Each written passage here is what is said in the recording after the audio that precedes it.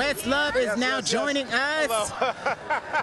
now, now, I saw earlier you and Jamie had a little moment. What were you and Jamie Lee Curtis talking about? Um, I've seen everything everywhere all at once. Like, I'm not lying, maybe 15 times this year alone. It's probably one of the most transformative movies I've ever seen. Wow. And it speaks to all of us, like recognizing who we are in our inner light and that stuff. So, um, I guess I crept into our DMs, and now I think I think we have a, I think we're BFFs now. So Oh God, I it's a love nice, that. it's a nicer night. No, no, I mean tonight's everyone's night, but you know, I'm especially happy for her. I love that. I feel the same way about that film. I could talk all day about that film, but Oh, let's talk absolutely. about you, Oh. Oscar award-winning I forgot that part. filmmaker. I forgot about that part. How has your life changed in the year since you've become an Oscar award-winning filmmaker? Um, you know, I mean, it's been highs and lows, but more than that, it's it's one day at a time.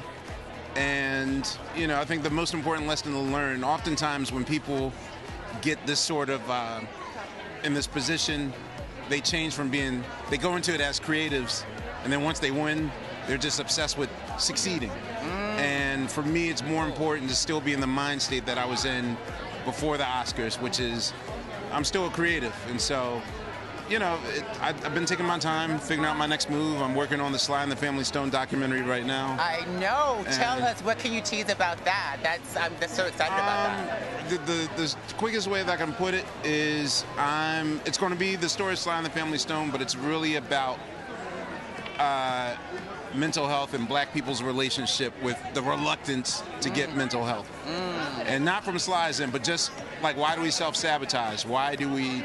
I'm going to answer a lot of questions. I'm going to try to answer a lot of questions. Can I tell you, um, I interviewed Dr. Joy DeGruy, who coined the term post-traumatic slave syndrome, and, on my podcast, and she said after we were emancipated as black folks in this country, where was the mental health? Could you imagine being enslaved for like, and the epigenetic piece of it? But she's not. For her, it's behavioral. Where was the mental health after um, emancipation?